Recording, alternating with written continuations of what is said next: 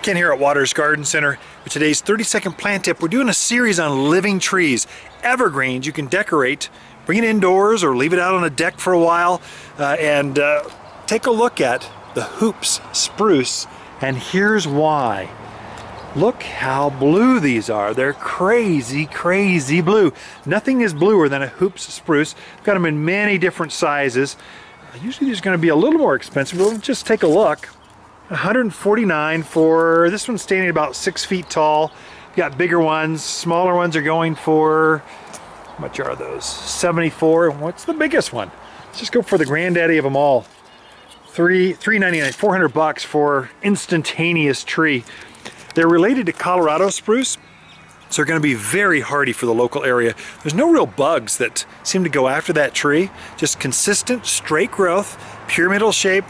Uh, slow grower, maybe eight inches a year is what you're going to get out of that.